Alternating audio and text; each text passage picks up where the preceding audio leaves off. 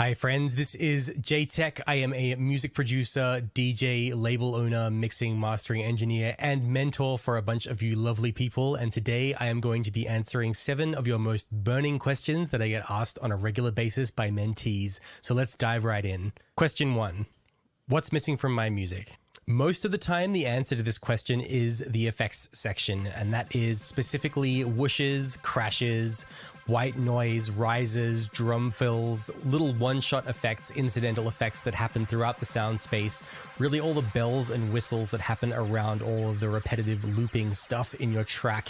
This is a very easy thing to overlook. I color code all the effects parts in my tracks as bright green, and I can often look at the whole song and very quickly assess that there isn't enough green in my song. The importance of the effects section is